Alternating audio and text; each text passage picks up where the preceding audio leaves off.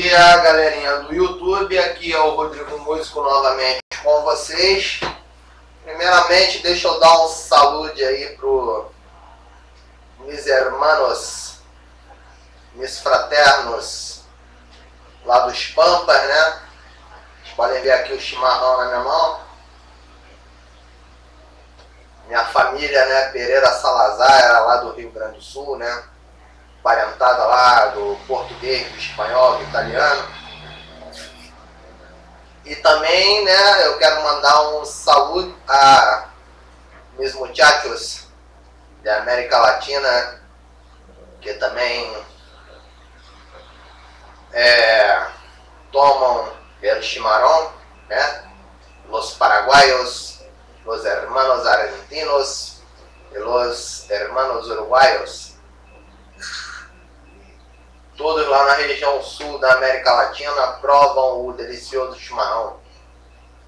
Não só os gaúchos, como os paranaenses, eu também tenho parentes paranaenses, também bebem o chimarrão. Os catarinenses, os paraguaios, os argentinos e os uruguaios, todos provam o delicioso chimarrão. Então, saúde aí aos Pereira Salazar do Rio Grande do Sul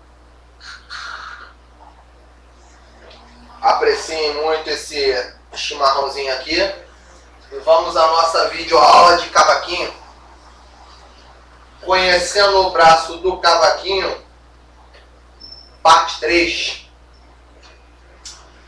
Bom, essa é a videoaula falando já da terceira corda do cavaco, que seria a corda sol.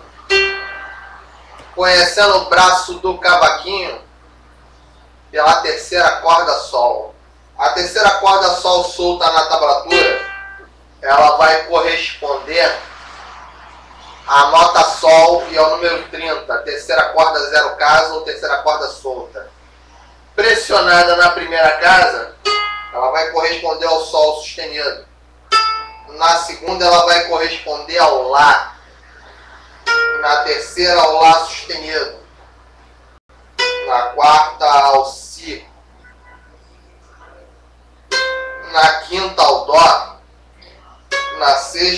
ao Dó sustenido, na sétima ao Ré, na oitava ao Ré sustenido,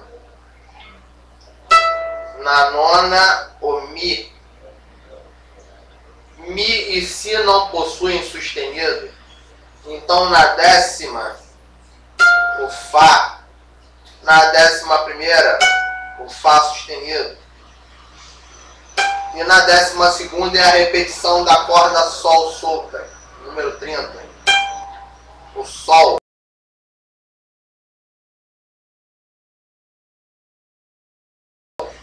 Caso. Bom, muito obrigado aí pela participação dos senhores. Lembrando aí mis abraços a todos mis hermanos dos Pampas, e de Cisplatina, Argentina, Uruguai, eh, Paraguai, Rio Grande do Sul, Paraná também, Santa Catarina também, um abraço e aquele chimarrão de todos nós outros gaúchos. Muchas gracias, hermanos.